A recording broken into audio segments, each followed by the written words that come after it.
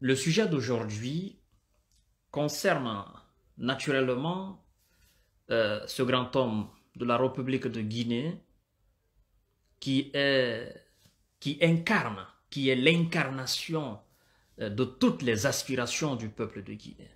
Cet homme qu'on appelle CDD. Parce que aujourd'hui, vous savez, la clé de la Guinée se trouve dans sa main. La clé du fonctionnement de la République de Guinée se trouve dans sa main. On est d'accord La composition même du, du, nouveau, gouvernement de M. Alpha Condé dépend de lui. Le retard de cette composition de, du gouvernement de large, un gouvernement euh, large, un gouvernement d'union nationale, euh, dépend de CDD. On est d'accord Et euh, vous savez, on a souvent tendance à dire qu'il faut rendre à Dieu ce qu'il appartient et à César ce qu'il appartient. Et en Guinée, on a fait un, et en refusant l'autre, on a rendu à Dieu ce qu'il appartient, et en confisquant celui de César. Je vais vous expliquer. Mais avant d'arriver là, j'ai parlé de l'aspiration, j'ai parlé de l'incarnation de toutes les aspirations du peuple de Guinée. Quelles sont les aspirations du peuple de Guinée? Parce qu'il faut rentrer dans, le, euh, dans, ce, dans ce système définitionnel des choses. En Guinée, il faut tout expliquer. Il faut tout expliquer en Guinée pour que les gens comprennent. Alors, quand on dit l'aspiration, l'aspiration c'est quoi? Ce sont les attentes. Les attentes c'est quoi? Ce sont les vœux du peuple. Les vœux c'est quoi? Ce sont les souhaits du peuple. C'est que le peuple souhaiterait avoir, c'est que le peuple aimerait avoir, c'est que le peuple aimerait que un président de la République de Guinée fasse, c'est que le peuple de Guinée souhaiterait qu'un président de la République de Guinée fasse. C'est que le peuple de Guinée s'attend à un président de la République. C'est ce qu'on appelle les aspirations du peuple. Alors, il se trouve que, euh, c'est-à-dire, il se trouve qu'il y a quelqu'un en Guinée qui incarne, qui est l'incarnation de toutes ces aspirations du peuple de Guinée. On est d'accord? Ce quelqu'un, c'est M. CDD. Le CDD, je vais définir autrement. Ce ne serait pas aujourd'hui Selouda Diallo. Il s'agit naturellement de lui, mais je vais définir autrement le CDD. Vous restez à l'écoute. Je pense que euh, la plupart des gens qui sont ici en Europe, qui sont dans le monde occidental, vont comprendre ce que je veux dire. Et pour revenir à cela, j'aimerais simplement d'abord vous lire euh, l'article l'article 40 de la Constitution de 2020, la Constitution de M. Alpha Condé. L'article 40 nous dit quoi? Il dit « Le président de la République est élu au suffrage universel, direct pour un mandat de six ans et renouvelable une fois. » Ça veut dire que le président de la République est élu une fois pour un mandat renouvelable. Dans sa constitution, ça fait maintenant 12 ans. Et qui dit 12 ans, ça veut dire simplement euh, le peuple lui a donné un contrat. Mais un contrat à durée déterminée ou un contrat à durée indéterminée. C'est un contrat à durée indéterminée. Mais lui, il veut un contrat à durée indéterminée. C'est pourquoi il est là. Sinon, depuis euh, euh, euh, la, fin de son deuxième mandat, il devrait s'en aller. Parce que le peuple de Guinée donne un contrat à durée déterminée. Le peuple de Guinée ne donne pas un contrat à durée indéterminée à un chef d'État. Alors il se trouve, quand vous prenez le nom CDD, quand on fait l'abréviation du nom de M. Sirou Diallo, CDD, ça nous donne quoi? Ça nous donne C, ça veut dire contrat. D, le premier D, ça veut dire durée. Le deuxième D, ça veut dire déterminé contrat à durée déterminée. Donc, même l'article, l'article, l'article 40 dans la constitution de M. Alpha Condé parle de CDD, contrat à durée déterminée. Donc, on a besoin de lui, qu'il vienne et qu'il fasse.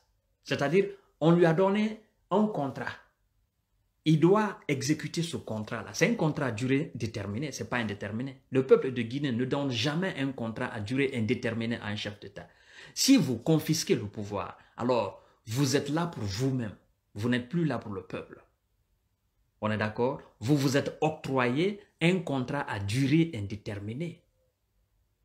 Et tout argent, c'est-à-dire tout ce que vous allez prendre comme salaire en ce moment, à partir de la fin de votre deuxième mandat, tout ce que vous allez prendre comme salaire, tous les privilèges que vous allez avoir jusqu'à votre mort ou jusqu'à ce que vous décidiez quitter à la tête de l'État, vous êtes qualifié comme un voleur.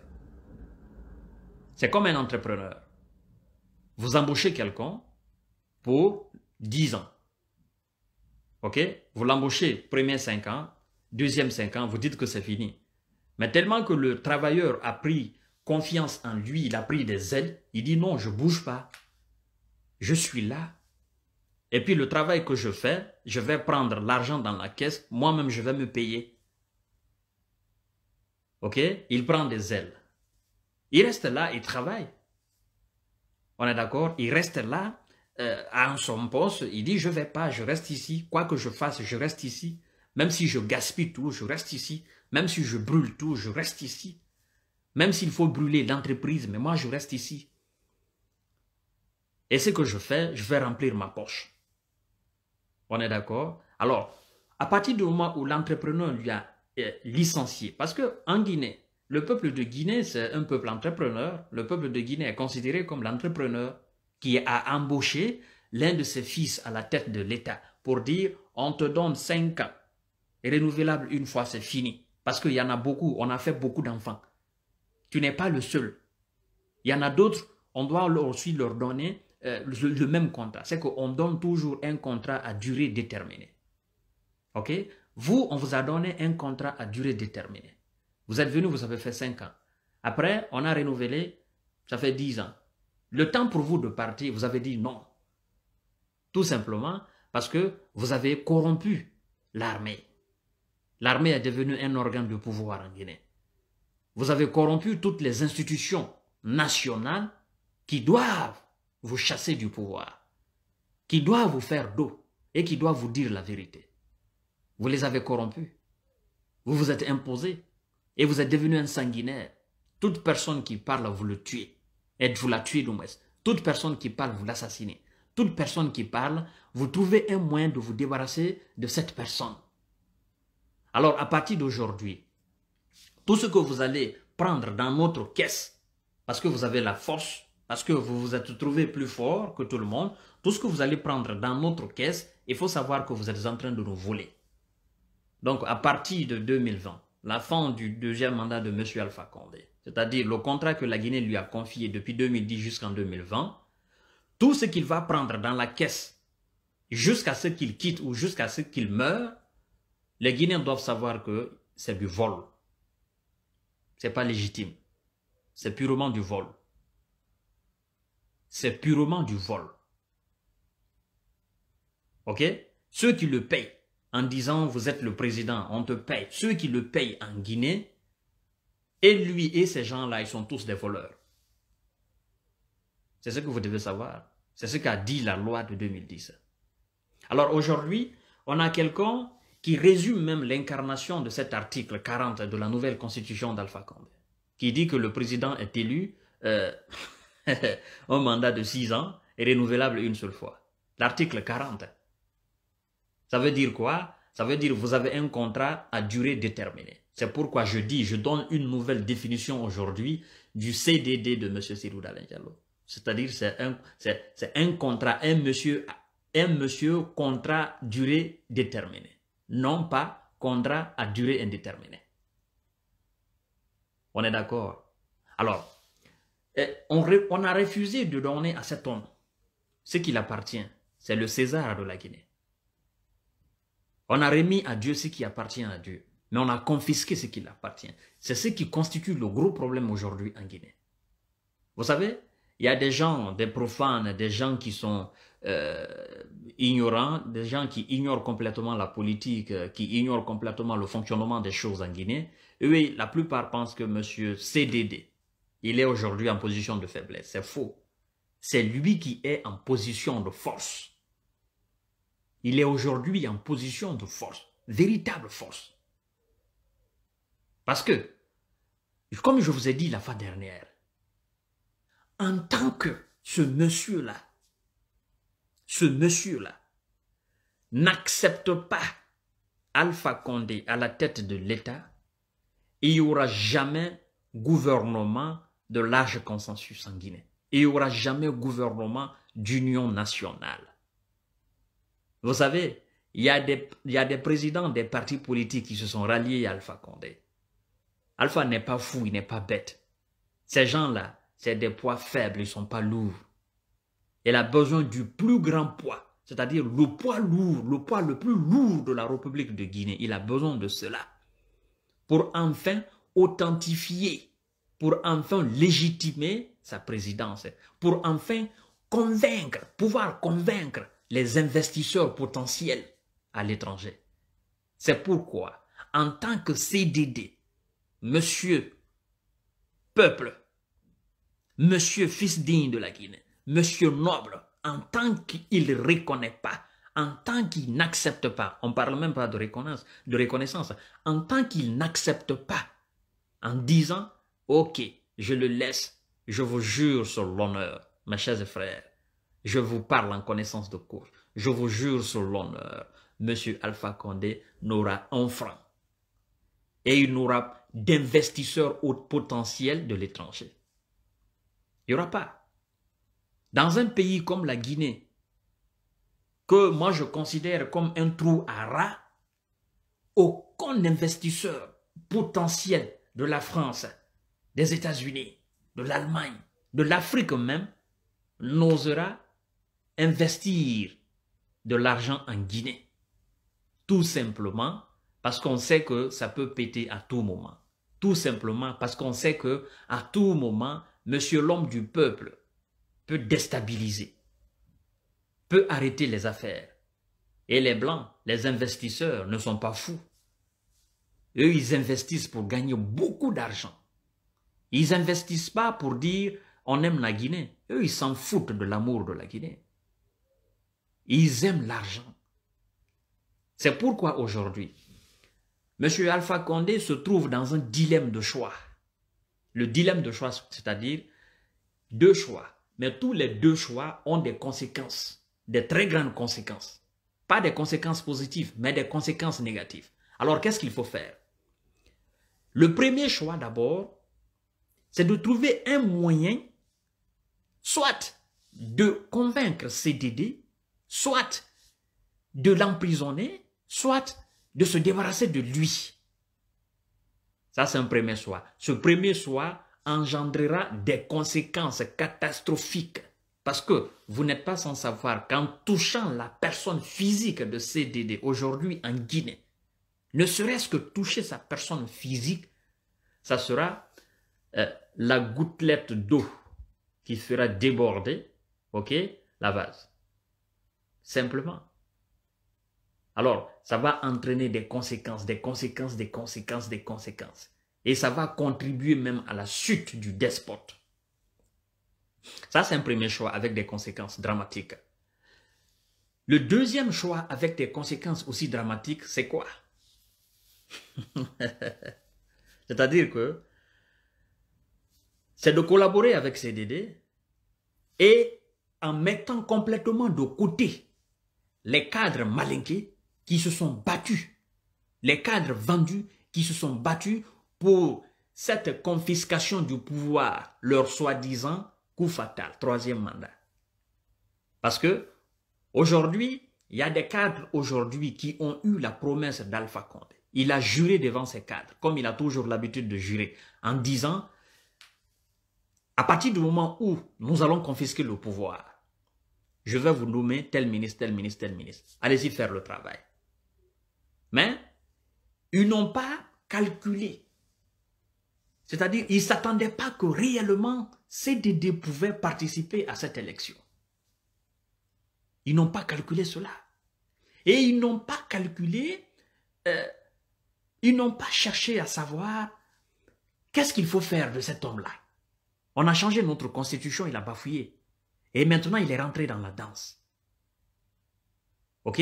Ils n'ont pas anticipé cela. Ils n'ont pas su contrecarrer la foule qui acclamait cet homme. Par fini, ils ont compris que ce n'était pas une petite affaire. Au début, ils minimisaient.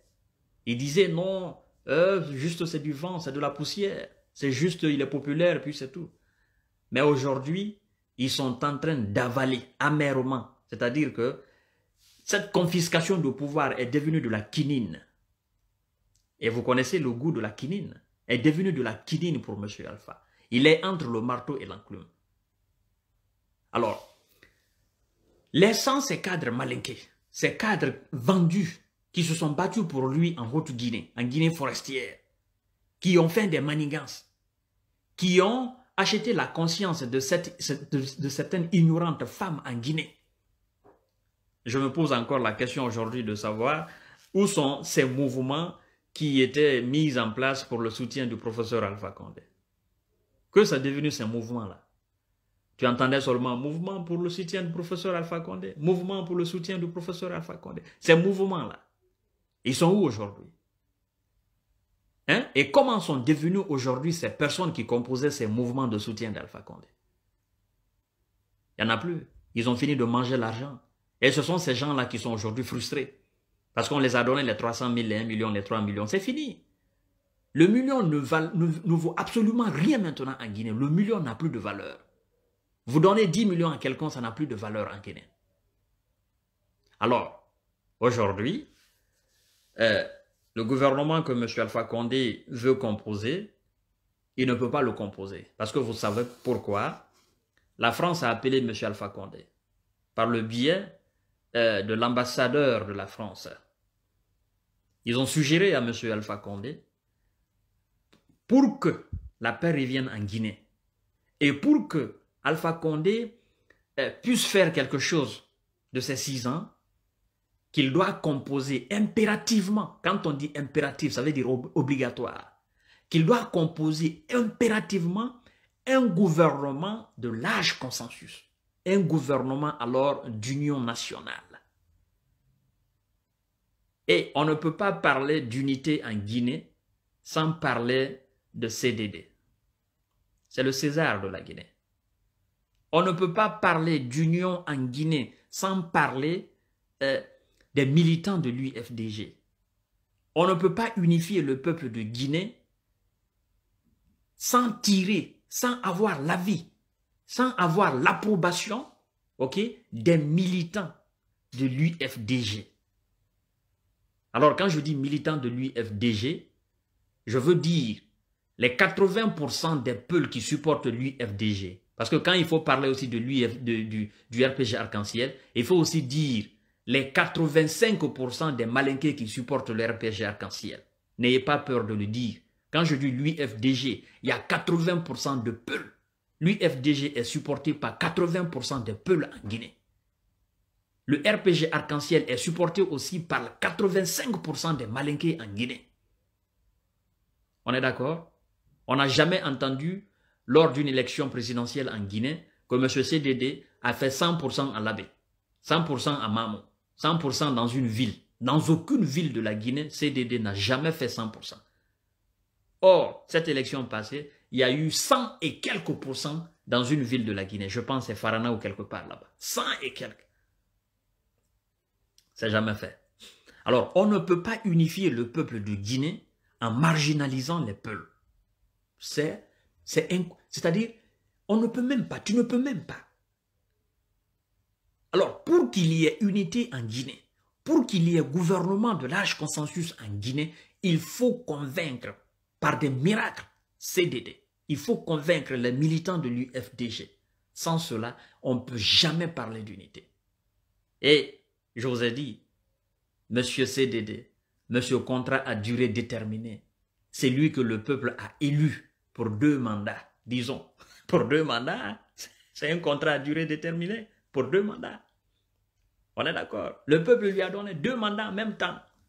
On dit, voilà, vous faites le premier, vous faites le deuxième, on est d'accord avec vous. Et après le deuxième, vous quittez. Parce que voilà, c'est ça. Votre nom résume même.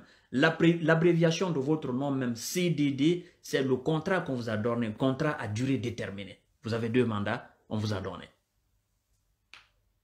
Ok? Alors, ce monsieur-là, aujourd'hui, il est en position de force c'est pourquoi Alpha Condé, il a compris très vite quelque chose que les autres maboules n'ont pas compris. Ces autres, ces ministres maboules, ces poussins, ok, non pas ces torchons-là, ils n'ont pas compris ça. Il a arrêté les Ousmane Gawal. Il a arrêté les quelques cadres de l'UFDG. Il les a emprisonnés. Ils n'ont rien fait. Mais c'est pour mettre une pression insupportable sur M. CDD. OK? Pour dire, OK, nous allons faire en quelque sorte une monnaie d'échange. Vous acceptez mon pouvoir, je libère vos cadres. Mais il se trouve aujourd'hui que, c'est pourquoi je vous ai dit la fois dernière qu'il est devenu un dinosaure. Et quand je parle comme ça, ça fait mal à certaines personnes. Alors, ma chère frère, si ça vous fait mal, c'est pas moi. C'est la vérité de la Guinée, c'est la réalité de la Guinée. Je ne fais que dire, je ne fais que narrer, relater la réalité de la République de Guinée. C'est pas moi. C'est pas moi. Non. La réalité de la République de Guinée, c'est une Bible. C'est un Coran. C'est la Torah. Ok? Il s'agit seulement de lire très bien le Coran de la, République de Guinée, la Bible de la République de Guinée, la Torah de la République de Guinée pour dire la vérité. Quand vous dites la réalité, vous parlez de la Torah, de la Bible, du Coran de la République de Guinée. Alors c'est pas moi. Je ne fais que lire les versets, les versets du Coran de la République de Guinée. Je ne fais que lire les versets, les sourates. Et je ne fais que expliquer. Je ne suis pas un savant. Ok? Alors, ne vous en prenez pas à moi. Je vous en prie, s'il vous plaît. Je ne dis que la vérité. La vérité qui se trouve euh, dans les versets du Coran de la Guinée, dans la Torah du Coran de la Guinée, dans la Bible du Coran de la Guinée. C'est simplement que ça. Alors, où se trouve aujourd'hui que M. Selou Dalenjalo est devenu un homme politique très aguerri, un homme politique très intelligent, un homme politique imperturbable, un homme politique qui a aujourd'hui le sens de l'abnégation. L'abnégation, c'est le sacrifice. Le sacrifice, c'est quoi? C'est-à-dire, c'est ce courage, ce très grand courage, ce dépassement de fonction qu'il a aujourd'hui. On dit, en disant, OK, euh, voilà, quelle que soit la situation, nous allons rester comme nous sommes. Et cela ne vient pas de lui.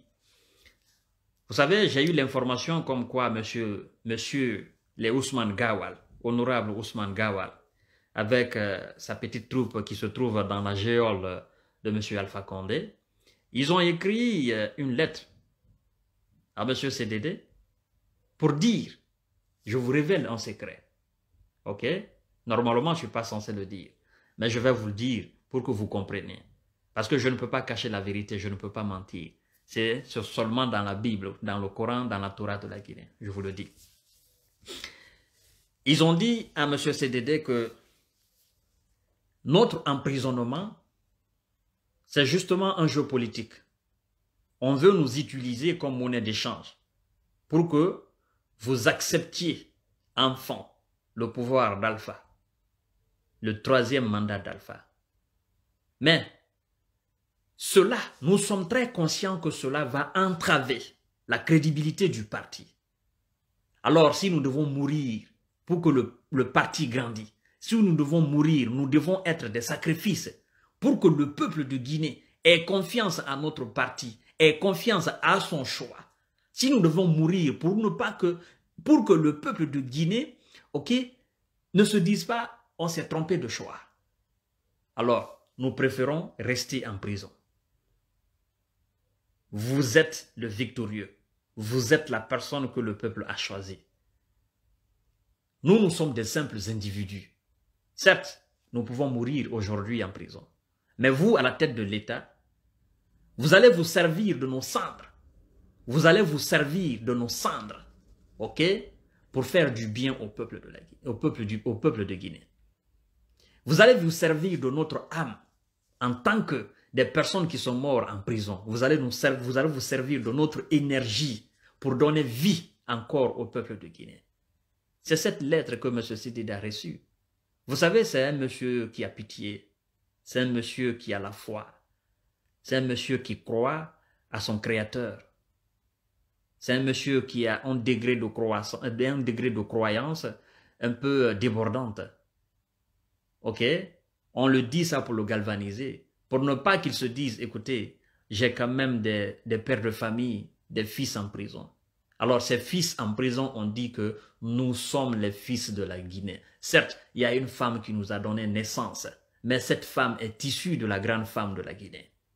Donc si nous nous mourons, si nous nous sommes assassinés en prison, pour que ce peuple qui vous a choisi président de la République démocratiquement élu, se développe, voient de l'émergence, voient la lumière au bout du tunnel, alors nous préférons ce sacrifice-là.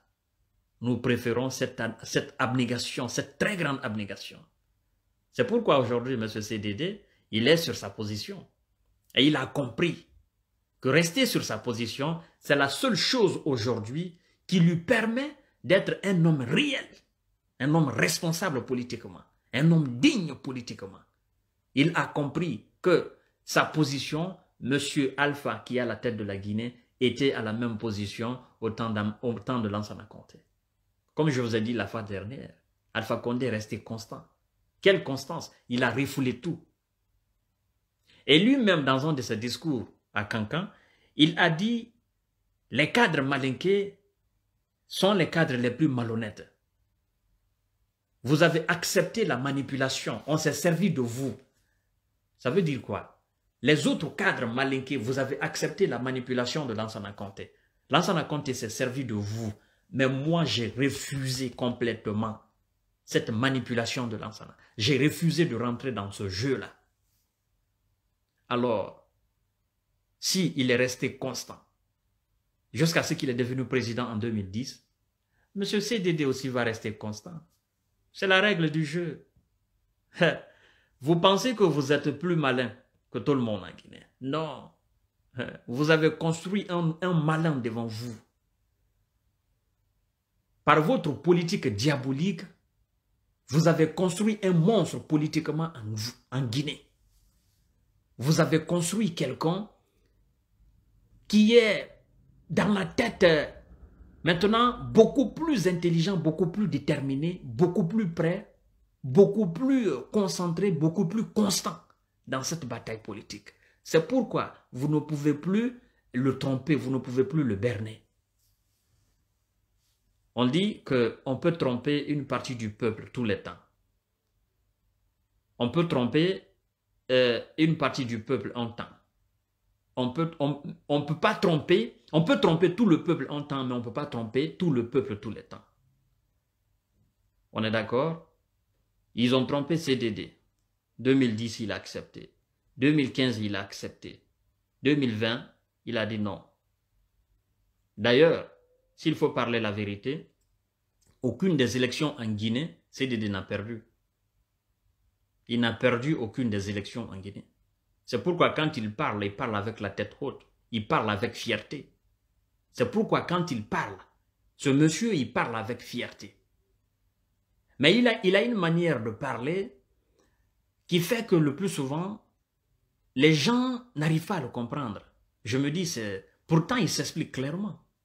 Il parle dans un langage très clair, débarrassé de la politique. Parce que quand il s'agit de parler devant des enfants, il est très clair. Devant les sages, il est très clair. Devant les femmes, il est très clair. Devant le peuple, il est très clair. Il n'y a rien de compliqué. Mais c'est des gens qui compliquent souvent ces discours. Parce qu'ils prennent et ils déforment, ils tirent, c'est-à-dire les mots dans leur contexte. Et ils exploitent ça autrement. C'est ce qui fait mal. Alors, M. Bayo disait tout à l'heure que pourquoi il ne voit pas les autres militants de l'UFDG s'exprimer. Voilà, ça, doit être le rôle des militants de l'UFDG. Ok? Les véritables militants de l'UFDG, les véritables communicants de l'UFDG, ça devrait être leur rôle. Parce que comme je vous ai dit depuis le début, on essaye de vendre une image de, monsieur, de ce monsieur, de ce grand homme, au peuple de Guinée, euh, qui est faux. C'est une fausse image qu'on essaie de vendre au peuple de Guinée. Pourtant, il n'y a aucune cohérence entre l'image qu'on vend et la personne qui existe, la personne qui vit. Il y a de l'incohérence totale. Alors, mais vu comment je parle de tout, je parle de l'activité guinéenne, je parle du développement de la Guinée, je parle de la souffrance guinéenne. Et c'est pourquoi je parle tout le temps de lui. Parce que je sais que c'est lui qui incarne tout ce que la Guinée veut. L'aspiration du peuple de Guinée aujourd'hui, euh, la première aspiration du peuple de Guinée aujourd'hui, c'est quoi? C'est de faire en sorte que la Guinée ait l'autosuffisance alimentaire. La Guinée se nourrit d'elle-même, que les 80% de la nourriture guinéenne où les 70%, 75% de la nourriture guinéenne soit produite en Guinée, consommée en Guinée, et on vend le reste. Ça fait partie des projets de société de l'UFDG et de son président. Je vous ai expliqué. bien avant le début des élections, je vous ai expliqué cela.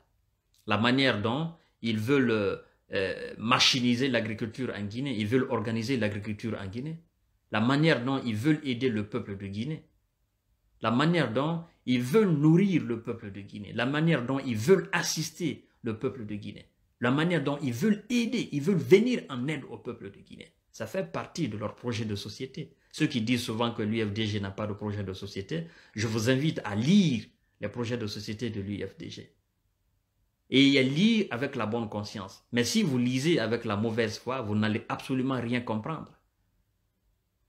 Parce que la plupart des gens euh, qui euh, parlent souvent de ce parti et de son président euh, ne parlent pas du projet de société de M. Alpha. D'ailleurs, il n'en a pas. Il n'en a pas. Il n'a jamais eu. Son projet de société, c'était des mensonges, des tonnes de mensonges. C'est ça. Alors, comme je disais, la première aspiration du peuple de Guinée, c'est le manger. Qui est-ce qui va nous aider à manger? Manger de la bonne qualité. Manger euh, en qualité et en quantité. Manger quand on veut. Et c'est qu'on mange, que ça soit de la bonne qualité. Qui est-ce qui va nous débarrasser de ce qu'on appelle de de, de, de la malnutrition et de la sous-alimentation? Quel chef d'État va le faire? C'est pourquoi le peuple de Guinée, en réfléchissant, en lisant euh, euh, soigneusement euh, ces projets de société de ce, de ce grand parti, ils ont trouvé en l'homme, ok? Ils ont trouvé en l'homme quelqu'un qui pourra faire, quelqu'un qui pourra aider, quelqu'un qui pourra sortir ce peuple de la souffrance. Ça, c'est la première aspiration du peuple de Guinée. Alors, la deuxième aspiration du peuple de Guinée, c'est euh, qui va nous soigner? Le système de santé. Qui va nous soigner? Alors encore, cette partie fait partie des projets de société de l'UFDG. Quand ils disaient qu'il n'y aura pas de malades sans soins dans leur projet de société, je vous invite à lire. Il n'y aura pas de malades sans soins. Ça veut dire tout simplement qu'ils vont construire des hôpitaux. Une fois au pouvoir, qu'ils vont construire des hôpitaux. Et c'est ce que le peuple de Guinée a cru c'est ce que le peuple de Guinée a accepté. Et c'est pour tout ça que le peuple de Guinée a fait confiance. C'est pourquoi je vous dis, il est l'incarnation de toutes les aspirations du peuple de Guinée. Le système de santé. Doter la Guinée d'un système de santé efficace. Il a la capacité, il a l'intelligence, il a les relations. Il a la connaissance encore. Il peut mettre des structures en place. Ça, c'est la deuxième aspiration du peuple de Guinée. La troisième aspiration du peuple de Guinée qui va nous donner des infrastructures routières de qualité Je sais que parler de ça, ce serait la tautologie, la construction de routes. Parler de ça, ce serait la tautologie. Ce serait me répéter encore mille fois. Parce que eh, on sait très bien, même ceux qui ne l'aiment pas, avouent cela en disant que c'est un monsieur concret, c'est un monsieur route. C'est un monsieur qui fait des bonnes routes, qui fait des bons ponts. Et je pense que euh, quand, vous allez en Haute-Guinée, il est pointé du doigt pour cela, pour dire que c'est lui qui a fait ça. Et je pense d'ailleurs que Amadou Toumani Touré paie à son âme. Il va pas me contredire, parce que lui-même, il est venu euh, euh, à l'inauguration de cette route butumée de, de, de, de Mali jusqu'à Bamako, féliciter M. CDD pour ça. Hein, avec le pont de Kouroussa et tout ça, tout ce qu'il a fait comme route euh, en Haute-Guinée, en Guinée forestière, euh, à Basse-Côte, à Conakry même. Donc les gens sont conscients de tout cela. On sait que c'est un monsieur pragmatique, pragmatique dans le vrai sens. Parce que dans l'autre côté aussi, on dit, ouais, il est pragmatique. Pragmatique dans le mensonge. Donc ça, c'est la troisième aspiration du peuple de Guinée. La quatrième aspiration du peuple de Guinée, c'est qui va nous donner une éducation de qualité? Qui va scolariser nos enfants? Tous nos enfants, sans exception, d'ethnie, de race ni de religion, qui va construire des hôpitaux et des, écoles de qualité. Qui va le faire? Ça, ça, faisait partie aussi des projets de société de l'UFDG. Ok? C'est pourquoi je vous dis, il est l'incarnation de toutes les aspirations du peuple de Guinée. On est d'accord? Et la cinquième aspiration du peuple de Guinée, si je n'ai pas sauté, c'est qui va nous sécuriser pour ne pas qu'on ait plus peur en Guinée? Pour ne pas que on crée maintenant euh, des attaques de bandits. Qui va nous sécuriser en Guinée?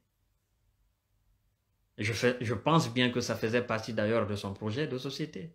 Ça, ce sont les aspirations du peuple. C'est pourquoi je vous dis, il est l'incarnation des aspirations du peuple. Et c'est pourquoi il dit souvent que on ne peut pas travailler, on ne peut absolument rien faire en République de Guinée si on n'a pas une administration forte. Parce que c'est une administration forte qui met des institutions fortes en place, qui fortifie les institutions. Et qui parle d'institutions, la justice fait partir. Mais pour ne pas qu'on soit tout le temps devant la justice, qu'est-ce qu'il faut faire? Il faut occuper l'esprit du peuple. Il faut donner des occupations réelles au peuple de Guinée, à la jeunesse guinéenne. On est d'accord? Ça, c'est euh, la cinquième aspiration du peuple de Guinée. Sixième aspiration, si je ne me suis pas trompé, c'est qui va nous donner de l'eau potable? Aujourd'hui, la deuxième ville de, tout le pays, c'est-à-dire, s'il faut dire, la deuxième capitale de la République de Guinée, c'est la ville de Cancan. Hein? En termes de dimension, ok. il se trouve aujourd'hui que à Cancan, les femmes de Cancan, les femmes euh, de la Haute-Guinée, de la ville de Cancan, euh, il faut qu'elles sortent dans les bandes de 5 heures du matin, aller faire une file pour avoir de l'eau, de l'eau de fourrage. On est d'accord? Et ça faisait partie aussi des... ça fait d'ailleurs partie des projets de société de l'IFDG. Quand ils disent qu'ils disaient, ils, sont, ils disent d'ailleurs dans ce projet de société qu'il n'y aura pas de robinet sans eau. On est d'accord? C'est que à chaque fois que vous allez ouvrir des robinets, vous allez trouver de l'eau, l'eau va sortir. Ok? Ce sont, les, aspirations du peuple de Guinée. Il y en a tellement que je ne peux pas tout vous souhaiter. On est d'accord? Alors, aujourd'hui, euh, ce qu'il faut faire, c'est que je pense que M. Alpha Condé a fait quelque chose que les sous disent souvent, euh, en bon sous que euh, abara barteradi tongo. Barteradi anana tongo naki parce que merino barteradi tongo n'attend ah na conséquence il faut assumer de. Barteradi birima tongo ma.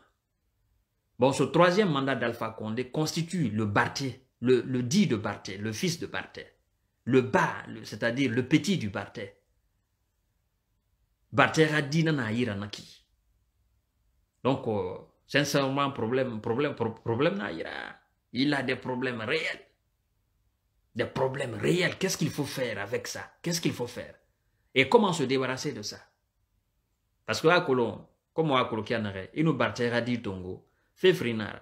Soit, il y a Benima arrêt, et rana solution fin, ou bien, il y a assumé ma qui en arrêt, et reprenara. Anobiri mouno matide barteyara. Et voilà tout. Ça, c'est première chose. Deuxième chose, et mon nom bartera dit tongode, et rafalangande barasara kalkali kunaki. Parce que, il dit barasa mara denere, problème na menine. Parce que, tout le temps, bartera ni fora. Anu sembe na ana ira bilan Vous voyez un peu? Donc, bartera dit na alpha ira naki. Ce troisième mandat-là. Ça le démange tellement la tête. Qu'est-ce qu'il faut faire avec? Est-ce qu'il faut se débarrasser? Non, je suis allé très loin. Je suis allé très loin avec ce projet-là. Et je l'ai maintenant. Mais je ne peux absolument rien faire de concret. Parce que ceux qui sont censés m'aider me disent de composer un gouvernement avec celui que je considère ou celui que j'appelle mon ennemi. Et je sais qu'il ne va pas, même si je le tends la main, je sais qu'il ne va pas accepter cette main-là. Alors qu'est-ce qu'il faut faire? Est-ce qu'il faut le tuer? Les conséquences de ça, comme les Camerounais ou les Ivoiriens, les Camerounais ou les Ivoiriens disent que le goût de ça, le goût de ça, ça sera un goût très très amer. Ça va dépasser même la proportion d'Alpha Condé. Ça va dépasser la dimension d'Alpha. En se débarrassant de ces loups d'une manière négative. Et il ne peut plus avoir la langue subtile pour le tirer sur une peau de banane. Parce qu'il a déjà utilisé toutes les peaux de banane qu'il avait depuis 2010. Donc, qu'est-ce qu'il faut faire? Vous-même, posez-vous la question si vous étiez à la place d'Alpha aujourd'hui. Je sais que si vous étiez à la place d'Alpha, vous êtes des hommes, des femmes humbles. Vous n'alliez pas accepter ce troisième mandat. vous n'alliez pas organiser ce référendum afin de changer la constitution. Mais si par, comme chez moi il n'y a pas de hasard, faisons une supposition. Si vous étiez à sa place, que feriez-vous aujourd'hui? Vous vous retrouvez dans cette condition-là. Que feriez-vous? Vous avez la pression internationale derrière. Vous avez une pression insupportable à l'intérieur du pays. Et vous avez traité quelqu'un d'ennemi, mon ennemi, mon ennemi, mon ennemi. À force de dire quelqu'un mon ennemi, mon ennemi, ben, vous faites de cette personne votre ennemi. Alors qu'est-ce qu'il faut faire aujourd'hui? Et on vous dit, on vous, oblige, on vous accule en vous disant, on ne peut pas vous aider tant qu'il n'y a pas de paix dans votre pays. On ne peut pas vous donner de l'argent en tant que votre challenger principal n'est pas dans le coup. On ne peut pas. Du coup, qu'est-ce qui arrive? Qu'est-ce qui se passe? Du coup, c'est le peuple de Guinée qui souffre. Mais la souffrance de ce peuple est due à ce petit groupuscule, ce petit groupuscule d'hommes diaboliques, ok, d'hommes, euh, l'incarnation du diable qui veulent que le peuple souffre. C'est simplement que ça. Alors nous sommes dans une situation inédite. Que les militants du RPG Arc-en-Ciel, les militants de l'UFDG ne se trompent pas. En Guinée, ça ne va pas. En Guinée, il y a une crise politique, une crise post-électorale. En Guinée, ça existe. Et c'est ce qui retarde la composition du gouvernement de large consensus. Et on ne peut pas composer un gouvernement de large consensus sans faire part à M. CDD, sans son approbation. Et comment avoir son approbation? C'est là se pose la question. Alpha est allé très loin. Ceux qui l'ont conseillé et ceux qui l'ont induit dans ces erreurs-là, ils sont allés très loin.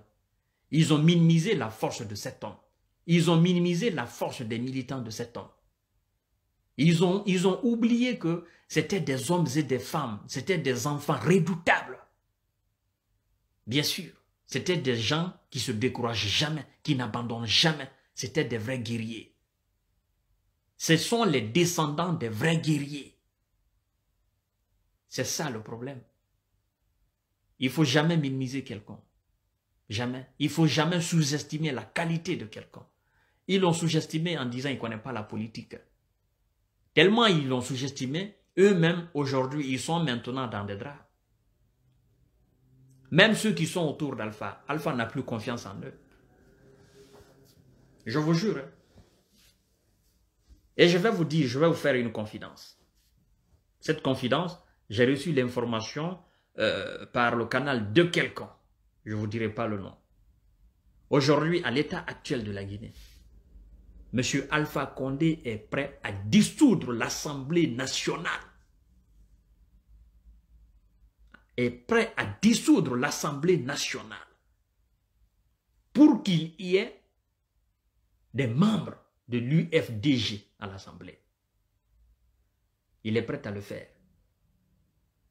Aujourd'hui, Alpha Condé est prêt à proposer tout poste, tout poste ministériel, tout poste en Guinée, je vous dis bien tout poste à CDD. Tout poste, hein. il est prêt à le faire. Mais euh, l'arbre qui est là ne fait qu'enfoncer ses racines dans le sol pour aller puiser de l'eau. Ouais. Il a du mal maintenant à déraciner cet arbre. Ça, c'est fini. L'arbre a déjà enraciné, il a déjà enfoncé ses racines dans le sol. C'est impossible. Alpha, n'a plus d'alternative. Les ministres d'Alpha n'ont plus d'alternative. CDD n'a plus confiance en eux. Il n'a plus confiance à leur leader. Et tous ceux qui viendront pour dire, ah non, non, non, non, il vient, comme c'est un monsieur humble, il les écoute. Quand ils finissent, ben, c'est le vent qui passe. Ils ne croient plus en eux.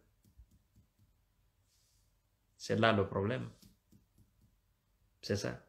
C'est purement ça. Et dans tout ça, le peuple de Guinée euh, est en train de manger du, gravier, est en train de manger euh, du sable. Simplement par la décision diabolique euh, de ce monsieur-là. Et ce qui me fait rire, c'est que j'entends moins maintenant les jeunes de la mouvance. Je les entends moins. Les communicants du RPG Arc-en-Ciel, je les entends moins. Parce qu'ils ont compris la réalité. C'est qu'ils ne savaient pas, ils ont su cela. Il y en a qui me contactent en me disant, Monsieur Kanté, la réalité, ça va pas en Guinée. Je dis non, ça ira. ça ira. Moi, je vous ai beaucoup parlé. Des gens comme moi vous ont beaucoup parlé. Vous avez refusé parce que vous aviez les yeux euh, dans le sac, parce que vous avez cru en quelque chose. Et maintenant, aujourd'hui, vous détestez cette chose. C'est vous qui critiquez aujourd'hui les ministres d'Alpha Condé. Avant, vous les trouviez parfaits. Vous les trouvez des hommes intègres, des patriotes. Mais aujourd'hui, c'est vous qui les critiquez. C'est vous qui faites des lives en disant que ces gens-là, ils achètent des maisons en Turquie, ces gens-là, ils envoient des femmes au Maroc, ces gens-là, ils détournent de l'argent pour aller acheter des, immeubles au New York, en, New York ou à Washington, ces gens-là, ils dilapident les fonds, ces gens-là, ils sont pas bons. C'est vous qui les critiquez aujourd'hui. Ça, c'est quelle hypocrisie? C'est de l'hypocrisie. Normalement, vous devriez être constant en les supportant quoi qu'il arrive. Mais bon, bien heureux vous, parce que vous avez vu la vérité et vous avez fait un pas très crucial en arrière. Alors, euh, aidons le peuple, le peuple innocent à sortir de cette situation. Donc, sur ce, mes chers frères, je vous dis seulement, continuons le combat, ne reculons pas. Moi, je ne dirais pas que Dieu aide le peuple de Guinée. Non. Hmm, je ne dirais pas que Dieu aide le peuple de Guinée. Parce que dire que Dieu aide le peuple de Guinée, ce serait demander, ce serait trop demander Dieu. Je me dis, pourquoi nous sommes bêtes? Pourquoi nous sommes ignorants? Pourquoi nous sommes ingrats? Quel est le bienfait de notre Seigneur qui est Dieu que nous pouvons ignorer en Guinée? Tous les bienfaits que Dieu nous a fait en Guinée. Non, je ne suis pas prêt Ok? Je ne suis pas prêt, moi, Kanté, je ne suis pas prêt à ignorer tous ces bienfaits et en demander plus à Dieu à propos de la Guinée. Il nous a donné une terre fertile. Il nous a donné des cours d'eau. Il nous a donné des végétations, la forêt touffue. Il nous a donné des savanes. Il nous a donné des animaux pour nous nourrir. Il nous a donné des arbres pour avoir le bois construire nos maisons. Il nous a donné la mer poissonneuse, l'une des meilleures qualités de la sous-région. Parce qu'en dessous, en dessous de la mer guinéenne, c'est la boue. Et vous savez, la boue, les poissons, ils se nourrissent très bien. Nous avons cette qualité-là de mer en Guinée. Il nous a donné des hommes intelligents, des hommes patriotes, des hommes nationalistes. Il nous a donné des femmes merveilleuses qui ne font que nous multiplier en Guinée, qui ne font que donner naissance aux enfants guinéens. Il nous a donné des hommes fertiles, des femmes fertiles. Qu'est-ce que vous voulez qu'on demande encore? Qu'est-ce que vous voulez que Dieu nous donne de plus? La pluie est abondante en Guinée. Quand il pleut même, non, c'est pas possible. Qu'est-ce que vous voulez de plus? Qu'est-ce que vous voulez de plus? Pourquoi vous demandez trop Dieu? Pourquoi? Vous dites chaque fois que Dieu nous aide. Enlevez ça dans la bouche, que Dieu nous aide. Enlevez ça. On doit s'aider nous-mêmes. Parce qu'il nous a déjà aidés. On a tout. On a tout. Arrêtez, mes chers frères. Depuis le temps de Samouri Touré, d'Alfaya Diallo, de Elage Omar Tal, bien avant eux, des gens avant eux ont fait la bénédiction, ont fait des sacrifices. Les Samouris sont venus. Les Elage Omar Tal sont venus. Ils ont fait des sacrifices. Nos pères, les Ahmed Sektouré sont venus. Ils ont fait des sacrifices. Nous, aujourd'hui, on fait des sacrifices. Où sont partis ces sacrifices-là? Dieu ne nous répond pas. Ou bien nous a-t-il fait d'eau? Ou bien, là-haut, il, il se dit, mais ça c'est un peuple lâche. C'est un peuple lâche. Vous avez tout là devant vous, tout. Je vous ai donné tout. Tout ce qui est propice à votre vie là. J'ai créé des conditions idéales pour que vous viviez, pour que rien ne vous manque. Les Français qui ont colonisé la Guinée, ils ont appelé la Guinée la rivière du Sud. Il y en a qui ont dit le château de, l'Afrique occidentale. Et ils continuent de dire aujourd'hui que la Guinée est un scandale géologique. Tellement qu'il y a des richesses du sol et du sous-sol en Guinée. La bauxite, l'or, le diamant, le manganèse, tout ça. On a tout en Guinée. Qu'est-ce que vous demandez encore à Dieu? Il faut que nous perfectionnons le capital humain qui est le cerveau pour résoudre tous les problèmes de la Guinée. Sans cela, prenez le chapelet le plus long. On dit souvent qu'il y a 90, 90 noms de Dieu, non? Il y a un centième. Cherchez le centième. Asseyez-vous. Tirez le chapelet de Conakry jusqu'à Paris. Restez à la maison et tirez de Conakry jusqu'à Paris. Traversez la mer Méditerranéenne, le chapelet, mettez le chapelet comme ça. Tirez, tirez, tirez, tirez, tirez. Cherchez le centième nom de Dieu. Il ne va pas vous aider en tant que vous ne vous aidez pas vous-même. Sur ce, je vous dis bonsoir.